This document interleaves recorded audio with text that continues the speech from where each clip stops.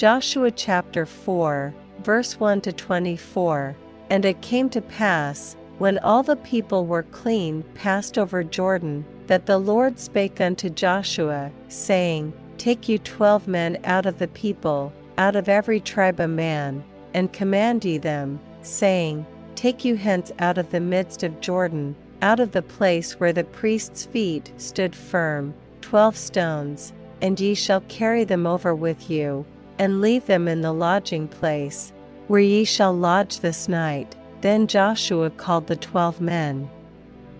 whom he had prepared of the children of Israel, out of every tribe a man. And Joshua said unto them, Pass over before the ark of the Lord your God into the midst of Jordan, and take ye up every man of you a stone upon his shoulder.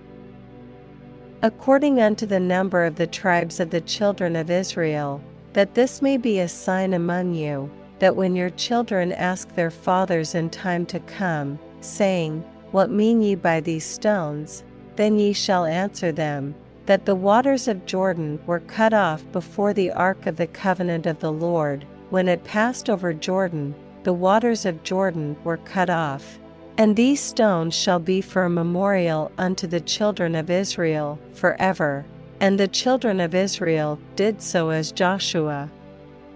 commanded, and took up twelve stones out of the midst of Jordan, as the Lord spake unto Joshua, according to the number of the tribes of the children of Israel, and carried them over with them unto the place where they lodged,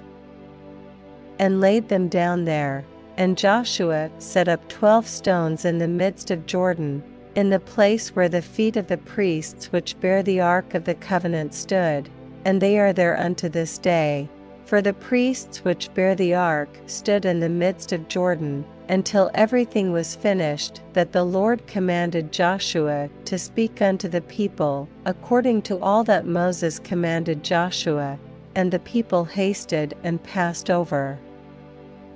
And it came to pass, when all the people were clean passed over, that the ark of the Lord passed over, and the priests, in the presence of the people. And the children of Reuben, and the children of Gad, and half the tribe of Manasseh, passed over armed before the children of Israel, as Moses spake unto them. About forty thousand prepared for war passed over before the Lord unto battle, to the plains of Jericho. On that day the Lord magnified Joshua in the sight of all Israel, and they feared him, as they feared Moses, all the days of his life. And the Lord spake unto Joshua, saying, Command the priests that bear the ark of the testimony, that they come up out of Jordan. Joshua therefore commanded the priests, saying, Come ye up out of Jordan. And it came to pass, when the priests that bear the ark of the covenant of the Lord were come up out of the midst of Jordan, and the soles of the priests' feet were lifted up unto the dry land, that the waters of Jordan returned unto their place, and flowed over all his banks, as they did before.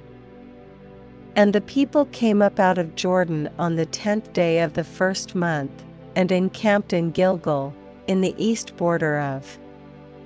Jericho, and those twelve stones, which they took out of Jordan, did Joshua pitch in Gilgal. And he spake unto the children of Israel, saying, When your children shall ask their fathers in time to come, saying, What mean these stones? Then ye shall let your children know, saying, Israel came over this Jordan on dry land for the Lord your God dried up the waters of Jordan from before you, until you were passed over, as the Lord your God did to the Red Sea, which he dried up from before us, until we were gone over, that all the people of the earth might know the hand of the Lord, that it is mighty, that ye might fear the Lord your God forever.